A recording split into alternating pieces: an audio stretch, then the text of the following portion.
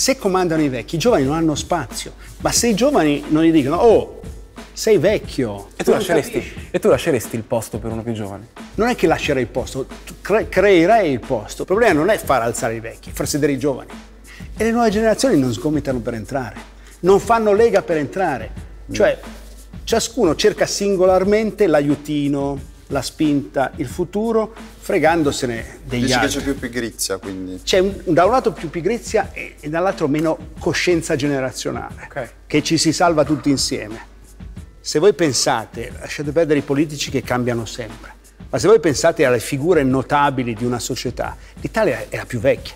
Io dico sempre scherzando che quando ci sono le grandi riunioni, l'assemblea della Confindustria, cose di quella- sembra la piscina di Cucù, quel film in cui soltanto che non, ha- non fa quell'effetto.